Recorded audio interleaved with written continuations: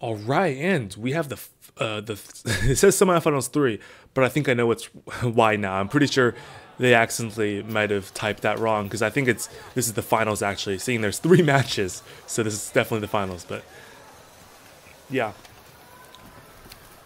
this is gonna be it's gonna be intense. We did see these robots perform extremely well, but but this match, we have the red team.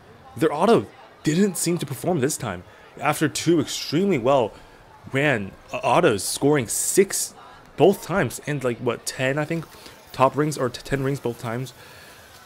One even uh, eleven even eleven even once.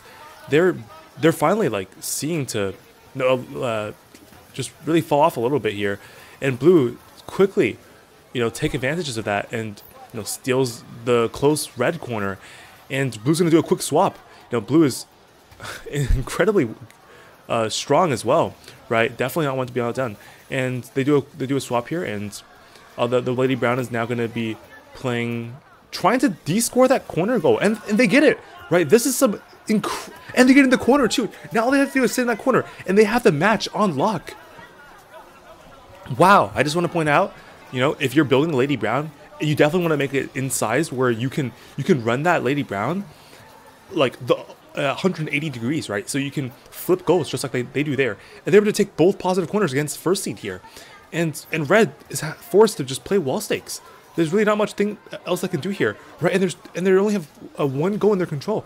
Two goals are flipped over. They, they didn't unflip those goals, and you know maybe uh, I really don't know what what they can really do here. It's not looking super super good. They have to steal a corner back, or play negative corner somehow, right?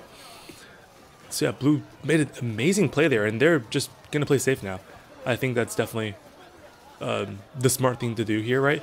Uh, they can after 15 seconds hits, they can they can try to, yeah, as you can see, uh, as as 15 seconds 15 seconds goes down, Blue is now gonna try to play wall stakes as hard as they can, and Red, Red not really defending them. Blue takes one wall stake, and they take two. They take both wall stakes, and looks like Blue is gonna have to probably win this tournament now because of that. And you can see them getting very hyped there and that's that's an incredible play at the very last, uh, very end there. You know, blue uh, earlier in the match, right? They were able to flip that goal in the corner with their Lady Brown, and they take corner uh, with no goal actually because they don't they don't need to because they know that their, their teammate has two goals already.